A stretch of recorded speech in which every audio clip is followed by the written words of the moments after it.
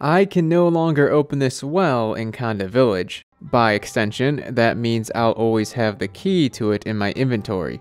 I suppose that's kind of cool. So, what happened here? Well, I sequence broke the quest. In doing so, I bypassed the task of opening the well. And that's all well and good, no harm done.